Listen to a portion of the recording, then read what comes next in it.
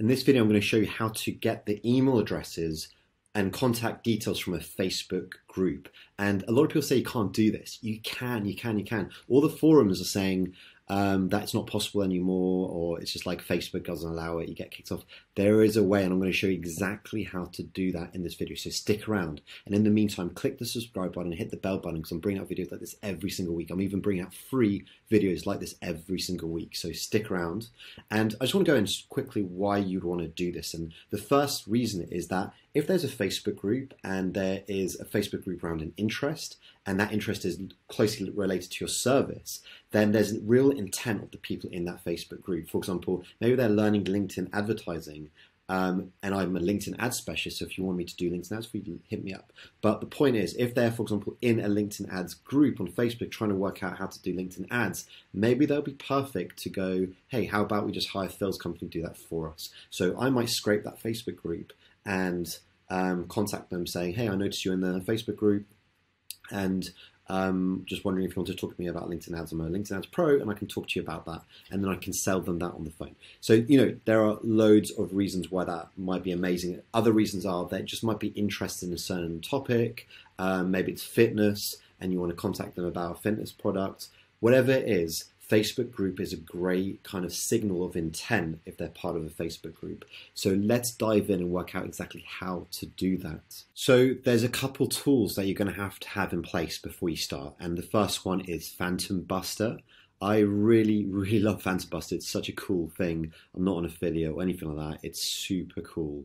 Um, it does loads of automations around LinkedIn, Facebook, Twitter, a bunch of different things. I'm not going to go into this in this video. Subscribe though, because I'm going to be actually doing a lot more videos on Phantom Buster because I love it as a tool. And if you're into automations, Phantom Buster does a lot of this stuff. So first thing we need to do is like sign up to Phantom Buster. And the second tool, and this is not guaranteed, and let's go through this process, but it, it doesn't always one of the steps in Phantom Buster doesn't always work. Um, so we're also going to need hunter.io. So sign up to hunter.io. I have an affiliate link in the description below. It helps the channel if you sign up through my link, so please do that. Um, but basically, hunter.io, you can use snov.io or you know a lot. You know what's the other one? Drop Contact. There's a lot of tools out there does that do the exact same thing. Just sign up to one of them. I use Hunter or snov.io like personally. So we're going to need a few different phantoms um, to achieve this. It's not so clear just having one automation um, I wish there was, you know, it would be cool if there was just one thing you just click and it happens all cleanly, but it doesn't. So here we go.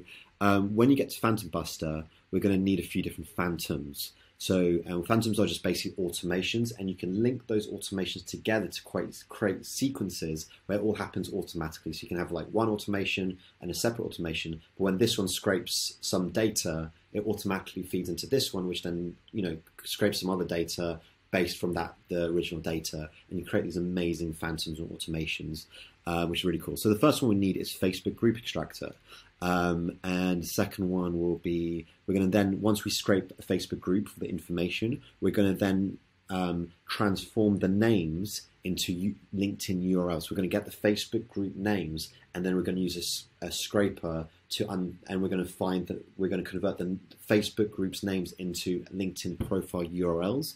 Once we have LinkedIn profile URLs, we're going to scrape the LinkedIn profile URLs with this phantom and get all the information from the personal profiles. And then finally, at this stage, there is an option to get the email addresses. Let's see if it works. But last time I did it, it didn't work. So I had to do an extra step, which is once I have all the personal prof- uh, personal profile information, I've got name and the company they work at. I now need the company URL. So I'm going to take the company name they work at and copy it, and then get the company URL from that because it, this one gets the company name and finds the URL. And then the final step is just to have a spreadsheet with the first name, second name, which is now what we have, and the company URL.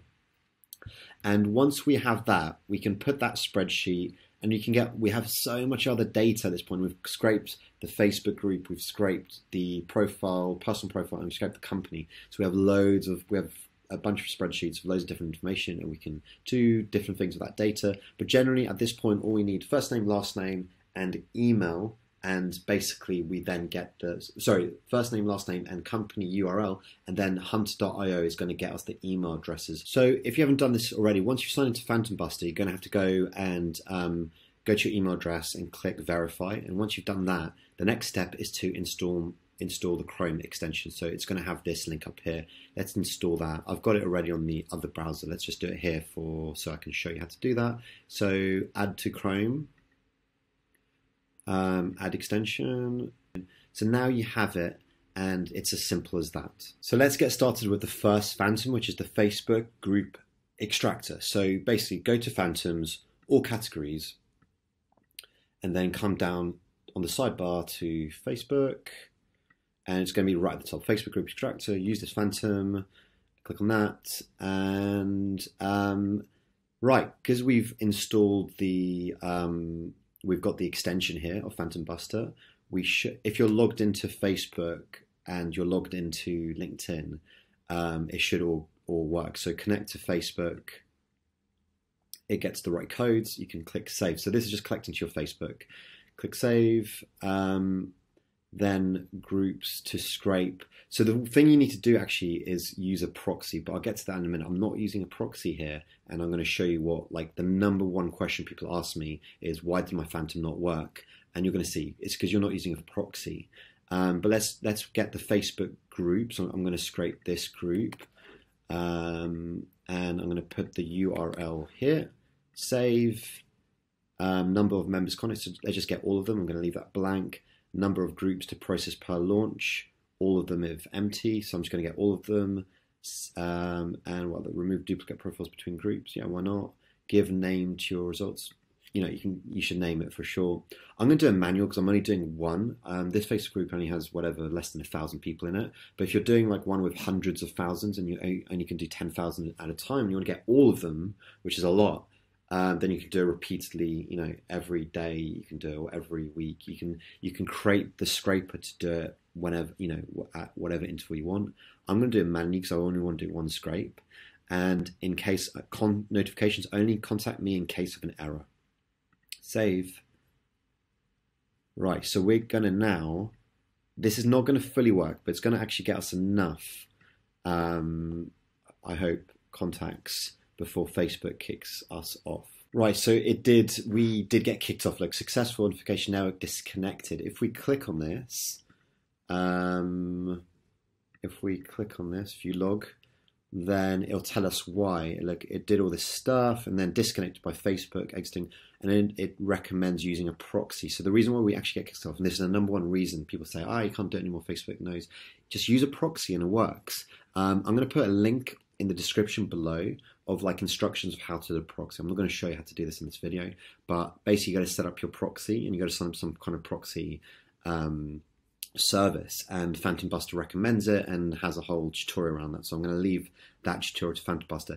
Get your proxy and it's going to work. Um, but basically, if you if we download the CSV of what it got so far, which I did, it got me a few names. And that's all I want actually for this tutorial for now, because I don't want it to take hours and hours and hours. Um, I just want it to do a few names. So I've got whatever, however many numbers this is. Um, oops.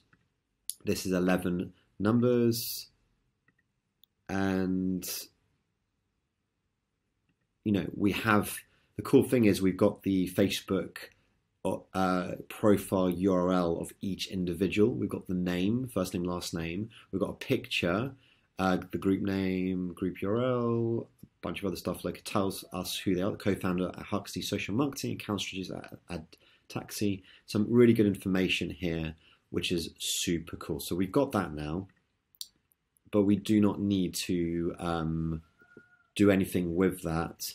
So now, if you scroll down here, we've if you've done, you know, the whole group, you've got a thousand or more, whatever your group has, up to 10,000, you scroll down click see compatible phantoms, and we're going to link them up now. So we're going to use this phantom, LinkedIn profile URL finder.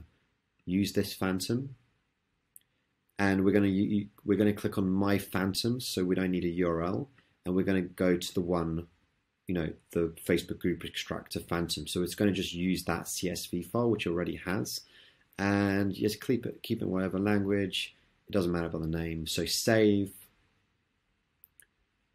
Just leave this empty, so it's going to do all of them. Um, the name is that you can give it a name. enable turbo mode warning. Enabling this option will make the Phantom faster. Yeah, I'm up for that. I'm okay with that. Um, will consume execution time fast. I don't mind. I'm good with it doing fast. The better. It's manually. I'm just going to do them all and notification in case of error. So save that and we click launch. So once that is done, um, mine was relatively quick, so I only have seven names and it's a full success. If you download the CSV file just to see what we're getting, we now have the LinkedIn URLs of the same people. So if you look here, you have this, you know, Hugo's Facebook URL, and now we have Hugo's um, LinkedIn URL, which is really cool. So that's what we need from that Phantom. That's all it was.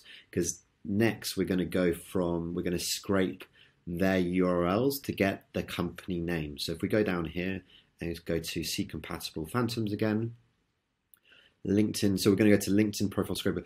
With this, actually, you can do a lot of different things. You can actually um, do a LinkedIn message sender and send a message on LinkedIn and do an outbound campaign on LinkedIn, which is kind of cool, and send them LinkedIn messages saying, "Hey," and you can just do, "Hey, I noticed you on in the group in Facebook. Before I contact you on LinkedIn." Uh, da, da, da, so you can do an automation message there, um, and you can also do a bunch of other things with that. Um, but what we want to do is scrape, we want to do an email campaign, right? I want to get the email addresses and I want to do an outbound email. I much prefer email to LinkedIn outbound every day of the week. So LinkedIn versus LinkedIn versus cold email outbound, cold email wins in my books. So use this LinkedIn profile scraper, use this Phantom. And again, connect to LinkedIn. If you're connected already, logged into your LinkedIn on your browser, it should work. So we click save, my phantoms, this time we're doing the LinkedIn profile URL and we're going to turn that into scraping the URL. So save. So here, uh, we recommend posting a maximum of 10 profiles per launch in order to keep your account safe. And you can do a maximum of 80 profiles a day or 100 up to 150. So I'd stick to like 100 a day. You don't really need to do more than that because you don't want to be sending that many emails. Um, simulate LinkedIn's dwell time. So I'm not going to click this, but use this option if you follow the 80 profile visits per day, but your account keeps getting logged out. So if you're finding you're getting logged out or you're getting caught by the captcha, then yeah, definitely use. I'll probably just use this. It's fine. I'm not going to use this for this tutorial because I want to get this done quick. But save each profile's picture, so you can use that in. Say for example, you're doing an outbound lemlist and you want to use, you know, take a screenshot of their profile picture. Maybe that's useful to you in some way, or a screenshot of their profile could be useful. Screenshot you know, full size of their profile, scrape the profile's interests. I don't need that, but you could find that interesting. The courses, project languages, you can scrape other information, um, you know, further information, scrape the profile's licenses. So, you know, maybe you want to scrape the licenses and do an outbound email campaign saying, hey, I noticed you have this, um, you know, enter the certification. So cool, well done. You know, so that adds a personalization of your cold email, for example. Um, so let's just leave all that blank for this. So we want to now name it. Let's just leave it as that. You know, just change fields to keep. This will create the CSV file with only fields. Okay, cool. Save. Um, select email. So this didn't work for me last time. I'd like to um, try it again. So I'm going to use hunter.io. But if this doesn't work, then we have to get the company. And the reason why it doesn't work is because when you when you scrape the profile, it gets the company name but not the company URL. So that's why it didn't work. But basically, you need to get your hunter.io API. So if you go to hunter.io, um, you go to your accounts, I believe it is. Oh no, the API down there. So go down to your API, and here's your API key. So you want to, well, what did it ask for? Ask for the API key. Okay, so we have the API key here. Let's copy that and go back here and enter it and save. Okay, so we actually want to do this repeatedly. Um, we're doing 10. Remember, we told it we're doing 10 at a time, and we want to do, let's do 80. So we're doing eight times per day, 80. I've only got seven in my group. I'm just saying if you're doing 80 a day. You need to do 10 eight times a day, right? And notify me in case of error. So save. and now let's launch it. Okay, so that that's done and it works this time. Last time it didn't work. Um, so if you download the CSV, which I have done here, it's actually found five out of seven of the email addresses with Hunter.io. So to be honest with you, looking at this now, I really like Hunter.io because actually I was using um, another one before, and Hunter.io actually is such a good enrichment email you know, um, data enrichment tool has just such good data. I'm realizing that more and more. I definitely recommend signing up to Hunter.io. There is a link in the description below. Um, but using some other tools, Hunter seems to win out more than others. Um, I'll make a video about this and I might do like a big test of all the different ones and see what kind of data I can get. Um, so definitely subscribe, by the way, for more information. But that's it. But let me just say, if that hasn't worked, then the next step, just in case that didn't work, the next thing you'd need to do is just get, you know, um, LinkedIn company info. So starting, I know, LinkedIn profile URL, um, where is it? So starting from a list of companies. So yeah, LinkedIn companies info, starting from a list of companies, which is what we have, we will have in this document here. Then, um, where is it? Anyway, it's somewhere here then just copy that and sorry, just add the phantom and do the same kind of process and it'll find it for you. So there you go. You've got email addresses, LinkedIn profile URLs, and loads of other data from a Facebook group. And we got seven, we got something like 75% or whatever the maths is on that of the email addresses from the seven, only seven profiles. But if you get anything over 50%, that's awesome. So if you found this useful, please subscribe, hit the bell button, and some more videos are going to be popping up. So check those out for more cold email and outbound topics and LinkedIn advertising.